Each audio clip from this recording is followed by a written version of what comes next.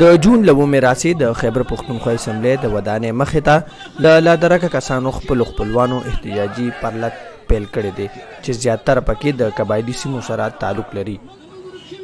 د مظاهرچیانو وینا ده چې روک شوي کسان دې عدالتونو ته وړاندې کړی شي که عدالت هايي کورټ نه وي سپريم کورټ نه وي بشکه بیا مولا د ارمي عدالتونه منظور دي خو کچېرې دا وي نو بیا دا چې ونیوي شو په کار دا چې تر اوسه پورې خدا عدالت لا پیش وې کنه نو تنن پورې خدا عدالت لا پیش نشو دوامه خبره دا ده چې تنن پورې دوله چاله ملاقات ملاو نشو آیا د مو دوره د بچو ظلم کړی دا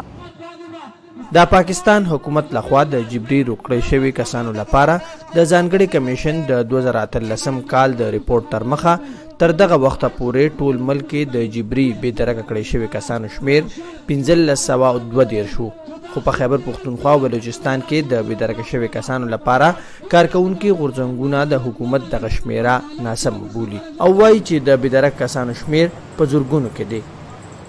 نو موږ تقریبا 150 کسان موږ میسنګي مومند او صافي موږ د هغه دین راغلی زموږ د احتجاج تقریبا د کمی درنې چې موږ کوو د 15 مې شو دا 15 مې روانه ده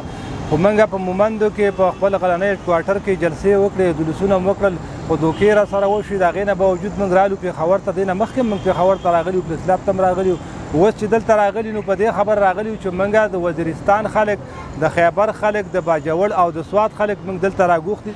وفاقي حکومت څو څو وارې ویلي دي چې د کسانو د بې درکه کولو د مخنیوي لپاره یې قانوني مسوده تیاره کړې او ډېر زر به ورته عملي شکل ورکړي.